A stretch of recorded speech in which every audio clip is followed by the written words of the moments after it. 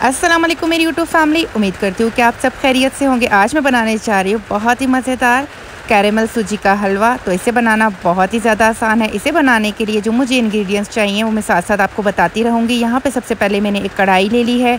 उसमें मैंने डेढ़ कप सूजी ऐड कर ली है।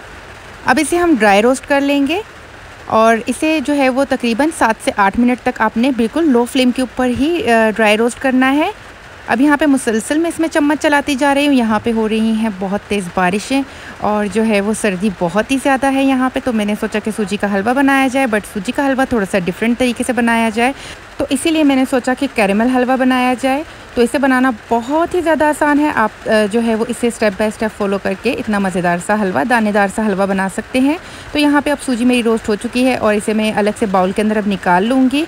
और फिर सेम कढ़ाई के अंदर ही मैं जो है वो देसी घी ऐड कर रही हूँ इसके अंदर। अगर आपके पास देसी घी ना हो तो आप डालडा या ऑयल का इस्तेमाल भी कर सकते हैं बट हलवे का मज़ा देसी घी में ही आता है। अब यहाँ पे तकरीबन हाफ़ कप के बराबर मैंने देसी घी ले लिया है। अब इस घी को पिघलने का वेट करते हैं। जब तक ये मेल्ट होता है तो हम जो है वो इसके अंदर डालेंगे ड्राई नट्स ड्राई नट्स जो है वो टोटली ऑप्शनल है। अगर आपके पास जो है वो किशमिश या ड्राई नारियल है तो भी आप जो है वो इस हलवे को बना सकते हैं। ये टोटली ऑप्शनल है।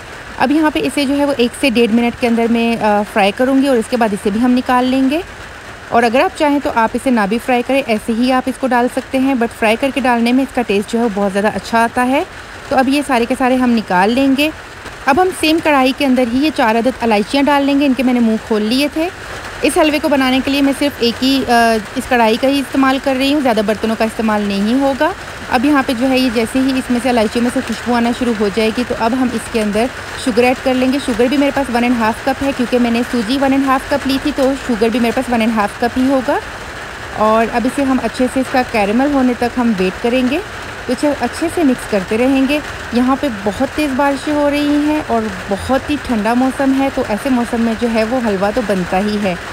तो यहाँ पे जो है, जितने जो मैंने इसमें ड्राई नट्स वगैरह यूज़ किए थे ड्राई नट्स में मैंने खजूर ऐड की थी, चार मगज़ ऐड किए थे। ड्राई कोकोनट था पिस्ताशूज़ थे ऑलमंड्स थे और जो है वो अगर आपके पास इसके अलावा कोई भी और भी ड्राई नट्स वगैरह मौजूद हो तो आप उसको भी ऐड कर सकते हैं। अब यहाँ पे आप देखिए शुगर जो है वो मेल्ट होना शुरू हो चुकी है। अब यहाँ पे आप देख सकते हैं कि इसका कलर भी चेंज होना शुरू हो चुका है। अब जब तक इसका कलर जो है वो डार्क ब्राउन नहीं हो जाता, तब तक हमने इसे मेल्ट करना है। देखिए यहाँ पे इसका डार्क ब्राउन कलर हो चुका है। अब इसके अंदर किसी भी किस्म का कोई भी लम मौजूद नहीं है और जो है वो अब हम इसके अंदर जो हमारी रोस्टेड सूजी थी, वो हम ऐड कर लेंगे। तो यहाँ पर जो है ये मैंने रोस्टेड सूजी इसके अंदर ऐड कर ली है।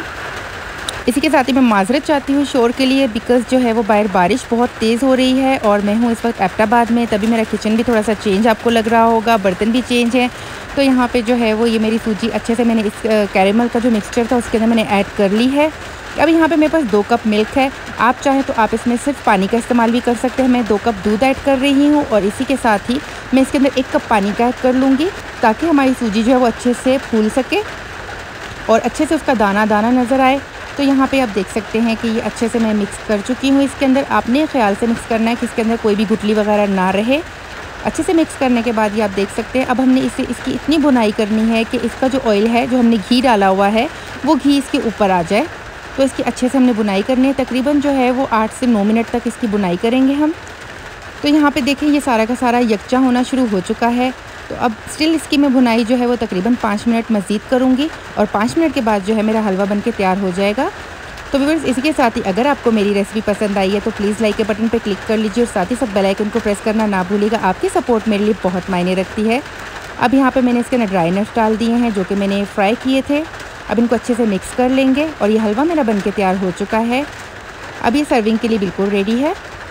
अब जैसे जैसे मैं एक से डेढ़ मिनट तक जो है वो मज़ीद इसे भून लूँगी और फिर उसके बाद जो है वो हम इसको डिश आउट कर लेंगे। बस इसी के साथ ही कमेंट सेक्शन में मुझे बताना मत भूलिएगा कि आपको मेरी रेसिपी कैसी लगी। तो यहाँ पे जो है ये बन के तैयार हो चुका है। अब मैं इसे कर लेती हूँ डिश आउट इसी के साथ ही मुझे दीजिए इजाज़त। इन ताला मिलती हुई एक नई और बहुत ही आसान सी रेसिपी लेके। तब तक के लिए अपना बहुत ख्याल रखिएगा, अपने प्यारों का बहुत ख्याल रखिएगा और मुझे दुआ में याद रखिएगा। अल्लाह हाफिज़, फ़ी अमान